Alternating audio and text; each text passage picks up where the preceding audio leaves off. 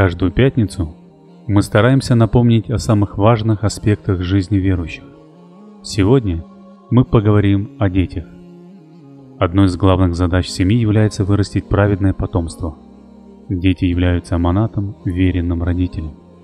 Однако век так называемой цивилизации мы часто сталкиваемся с тем, что мусульмане, даже праведные мусульмане, пытаются максимально ограничить рождение детей.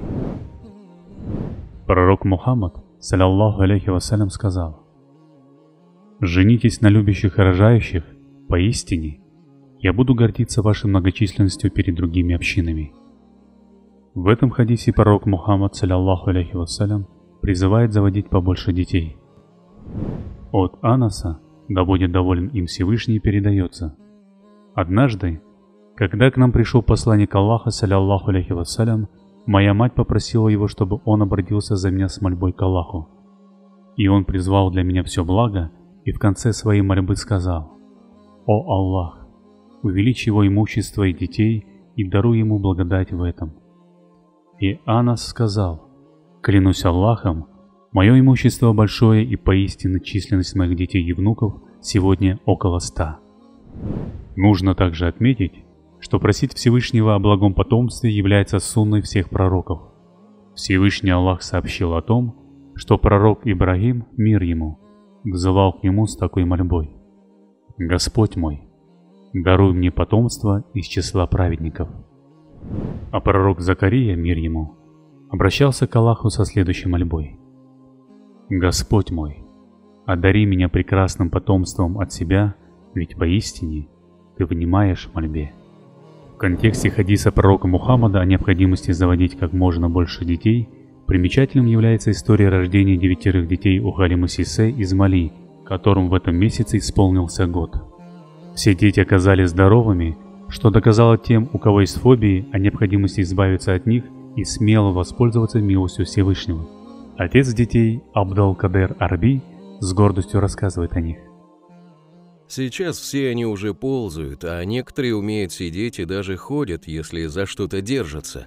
Да, это нелегко, но это так здорово. Когда мы смотрим на наших детей в добром здравии, мы забываем об усталости. Дети Абдулкадера и Халимы попали в книгу рекордов Гиннесса как самая большая группа близнецов, выживших после родов.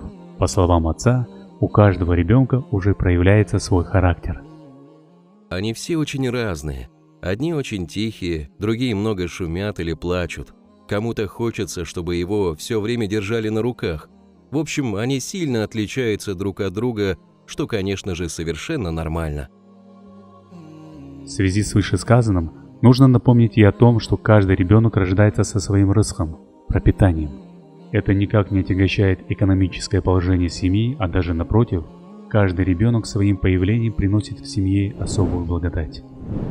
Всевышний в Коране говорит, «Не убивайте своих детей, опасаясь нищеты, ведь мы обеспечиваем пропитанием их вместе с вами.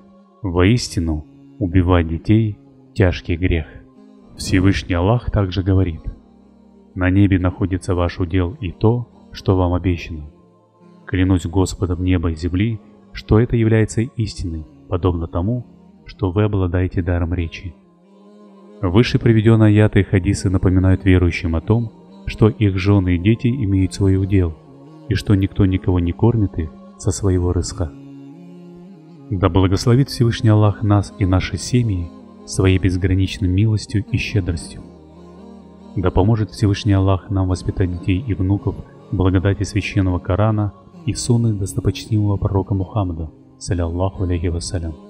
Пусть мы и наши потомки – станут достойными представителями ума заключительного Божьего посланника. Аминь. Мира вам и вашим близким, милости Всевышнего и Его благословения.